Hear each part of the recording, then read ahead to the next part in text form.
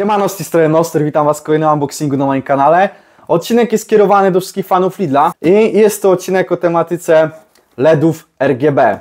Jak Wam nie wystarcza fotel LEDowy albo zwykłe paski LEDowe, to z pomocą przychodzą domowe żarówki LEDowe z Lidla, jak i stojąca lampa LEDowa. Postanowiłem, że nagram taki krótki film, żeby pokazać Wam, czy warto to kupić z Lidla, ponieważ ja mam takie doświadczenie, że bardzo lubię te produkty z tego sklepu. Jest dobra gwarancja na nie. Akurat na ten produkt jest dwuletni. Jest to produkt podobno niemiecki, a przynajmniej sprawdzony przez Niemców. German Quality Check, jak widać tutaj na pudełku.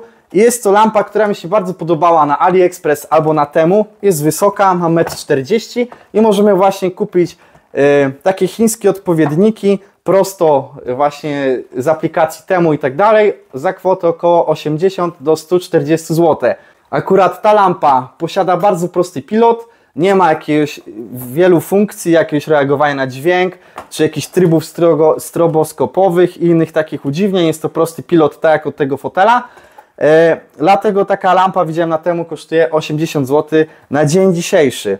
A nawet za tą kwotę można dorwać lampy z większą ilością funkcji niż w Lidlu. Jest to nowość, dlatego postanowiłem, że to sprawdzę.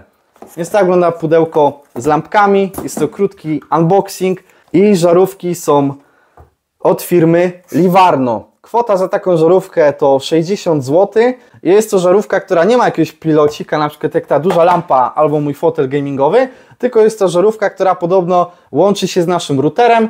Jest tu napisane Smart Home, więc będę to testował, ponieważ nigdy e, nie miałem takich cudów. Miałem tylko żarówki e, po prostu na pilocik, które e, po prostu często padały, więc postanowiłem, że kupię taki coś z Lidla, bo opinie miały naprawdę bardzo dobre te żarówki. Do żarówek przejdziemy za chwilę, do ich montażu i sprawdzenia, teraz otworzymy szybko tu pudełko z tą stojącą lampą. Co mnie zaskoczyło, to ona przychodzi ze sklepu właśnie w taki sposób, tu zdrapałem sobie list przewozowy. Nie jest ona w żaden sposób zabezpieczona, lata, lata jak Żyd po pustym sklepie po prostu się gniecie. Jest to do dupy wysłane. Nie ma jakiegoś styropianiku albo coś. Pewnie z Chin przychodzi tak samo.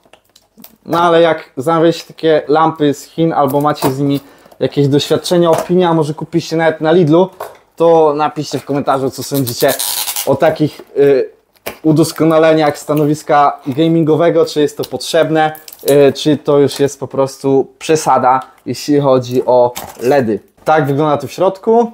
Nie ma żadnego styropianika, usztywnienia, czegokolwiek, no ale trudno. O, jednak siedzi trochę mocniej. Mamy całą lampę. Trochę trzeszczy. Podobno waży 800 gram, ale czy warto płacić dwukrotność za to, żeby kupić tylko z Lidla? No zawsze dwuletnia gwarancja, ale czy tu jest co, coś, co może się popsuć? Tego nie wiem. Dobra, więc tak to wygląda po rozpakowaniu. Mamy osobną nogę z elektroniką. Powiem Wam szczerze, wygląda tak wszystko trochę na słowo honoru. Te kable się tam kleszczą i w ogóle. Mamy drugą nogę i zasilacz. Więc tak, pokombinowałem trochę, sprawdziłem instrukcję obsługi i napisali, że są śruby e, w zestawie i imbusik, jak widzicie, mały, który to skręca. Ale śruby miałem, myślałem, że będą dłuższe, a to jest jakby gwint od śruby na imbusa. Pierwszy raz coś takiego widzę. Mamy tego LEDa i wkładamy go w następujący sposób, że płaską stroną wkładamy po prostu w ten plastik i tutaj mamy podnóżek. Więc mamy to nałożone. Bierzemy imbusik.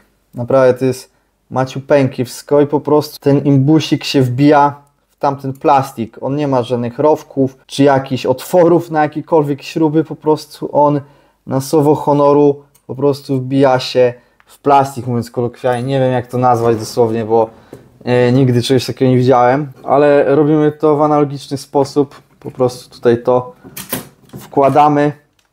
O, tu mam trochę za mocno. Śrubka siedzi, trzeba poluzować i dopychamy. No i dokręcamy to dziadostwo. Zobaczymy ile to przeżyje i czy te gwinty zaraz się nie rozjadą. Nie spodziewałem się trochę innego wykonania. Więc tak to wygląda, stoi. Jakbyście byli ciekawi, gdzie może być włącznik. Z tyłu, z przodu, z boku, nie. Jest w nodze. Podłączamy. Jak widzimy się świeci. Odblokujemy pilocik, plomba zdjęta. I testujemy. Pilot ma zasięg 7 metrów. mamy tutaj pilot. Jest taki sam jak do fotela, wcześniej wspominałem. Jak widzimy, gdy klikniemy czerwony, to zmienia się i kolor pałąka i fotela. Więc dobra, patyk jest ustawiony w miejscu docelowym, w narożniku, na moim małym, skromnym stanowisku gamingowym, na razie trochę prowizorycznym. I tak się efekt prezentuje przy zapalonym świetle. Jest tryb auto i tutaj mamy przycisk M, czyli chyba mode plus, minus. Możemy zmieniać tryby. Widzimy, mamy tu różne efekty. Na telefonie też to gorzej widać, trochę wiadomo. W rzeczywistości jest to dosyć ciekawe. Teraz przy zgaszonym świetle.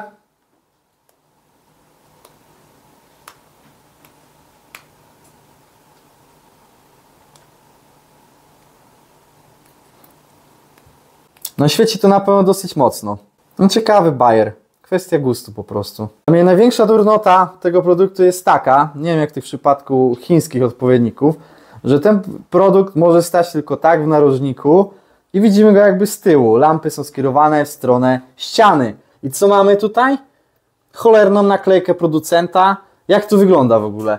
Zamiast przykleić tą naklejkę na jakiejś stopce czy coś, no wiadomo, samemu można to usunąć, ale nie wiem wtedy jak wygląda sprawa gwarancji, bo wiadomo, tam jest jakiś numer, inne pierdolety.